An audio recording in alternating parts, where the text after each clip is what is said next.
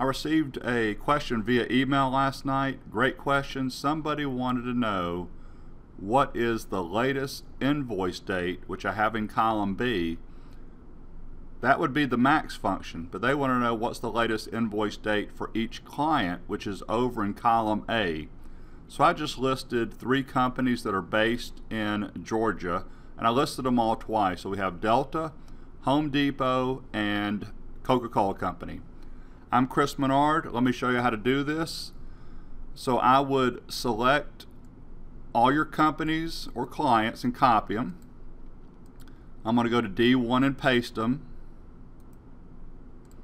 And then I need to get rid of the duplicates because I just need unique values. So I'm going to go to the Data tab.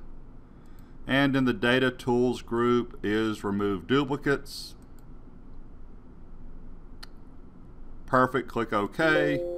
Click OK. There are my three unique clients listed right here.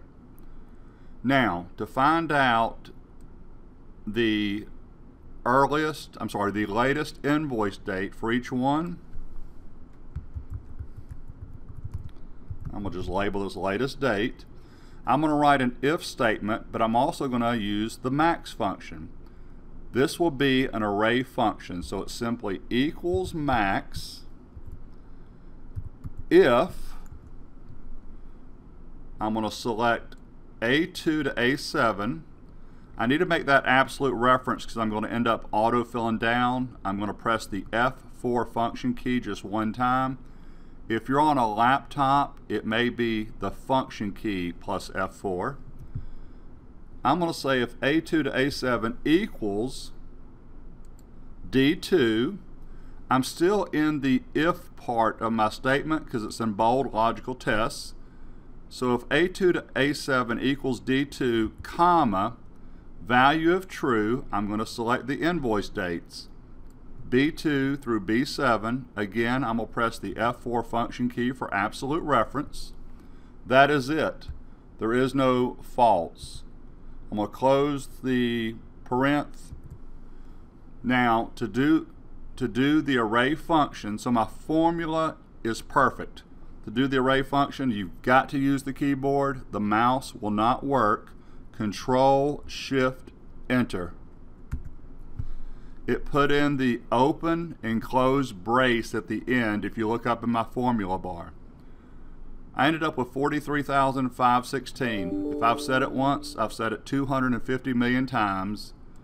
Dates are numbers, so just go make this a short date. Crosshairs autofill, pull down.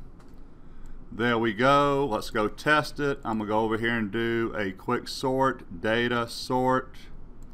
Let's sort by client first, add a level. Invoice date, I don't want oldest to newest, I want newest to oldest, just, just to check this. Coca-Cola, January 17th. January 17th, Home Depot is 214. 214. Delta Airlines is 220. Delta Airlines is 220. So that is how you figure out the latest invoice date or whatever date. It could be a purchase order date, order date by each client or by each group. I used absolute reference in the formula and I also had to make it an array function which is control shift enter. Feel free to subscribe to my YouTube channel. That was a great question that I was emailed. I appreciate it. Everyone have a wonderful day